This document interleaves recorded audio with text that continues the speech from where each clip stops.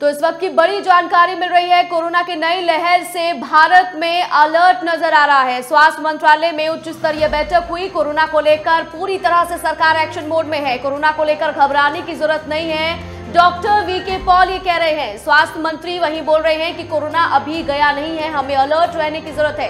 Corona testing को भी बढ़ाने की ज़रूरत है। फ़िलहाल गाइडलाइंस में किसी तरह का कोई बदलाव नहीं किया गया। भीड़ भाड़ वाली जगहों पर मास्क का इस्तेमाल करें, ऐसा वी के पॉल कह रहे हैं। कोरोना पर पूरे हालातों की समीक्षा हुई है। सीनियर सिटीजन प्रिकॉशन डोज लगवाएँ। कोरोना पर हर हफ़्ते स्वास्थ्य मंत्रालय की बैठक होगी। आपको बता दें कि चीन में कोरोना विस्फोट के बाद भारत में भी पूरी तरह से अलर्ट नज़र आ रहा है। सरकार पूरी तरह से समीक्षा कर रही है और इसी कड़ी में हर हफ़्ते बैठक होगी। ताकि कितने कोरोना के केस आए, कितनी टेस्टिंग हुई है और कितने ठीक हुए हैं, इसका पता लगाया जा सके। साथ ही साथ सीनियर सिटीजन छोटे बच्चों को खास प्रिकॉशंस लेने की बात की जा रही है कि वो खास अपना ध्यान रखें। भीड़ भाड़ वाली जगह पर अगर आप जा रहे हैं तो मास्क का इस्तेमाल ज़रूर करें, क्योंकि कोरोना अभी गया नहीं है। ऐसे में न्यूज़ वर्ल्ड इंडिया भी आपसे अपील कर रहा है कि घबराने की ज़रूरत नहीं है, सिर्फ़ सावधान रहने की ज़रूरत है।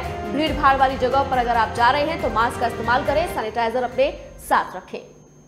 वैक्सीनेशन इम्प्रूव करने के लिए अब क्या आप अपील करेंगे? क्योंकि जितनों को लोगों ने वैक्सीन लेनी थी वो लगा ली है। अब लोग खुद भी वैक्सीन लेने के लिए बाहर नहीं आ रहे थे। तो हम अपील कर रहे हैं कि कंपनीज़ को। हम अपील कर रहे हैं कि जिनको प्रिकॉशन डोज नहीं लगी है वो लगाएँ।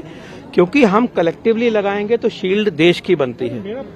इंडिविजुअल तो रुकता ही है बचता ही है।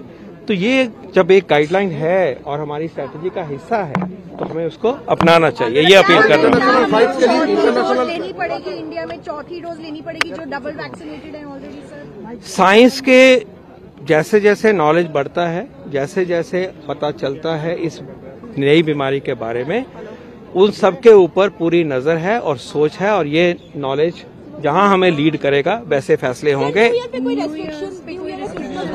अभी जो कहा है मैंने वो जो कहा है आज की डेट में यही मान्य है। In fact normal life lead करिए कोविड अप्रोप्रिएट बिहेवियर रखिए सिम्टम आते हैं टेस्टिंग कराइए और प्रिकॉशन डोज लगाइए। इसी में बढ़ के।